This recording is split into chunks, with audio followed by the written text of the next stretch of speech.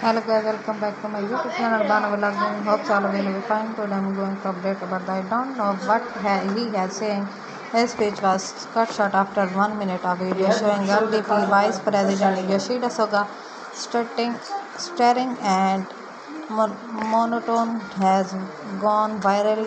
Nagatacho is concerned. A man who appeared to be a secretary uses from straighten the messy hair of LDP Vice President Suga.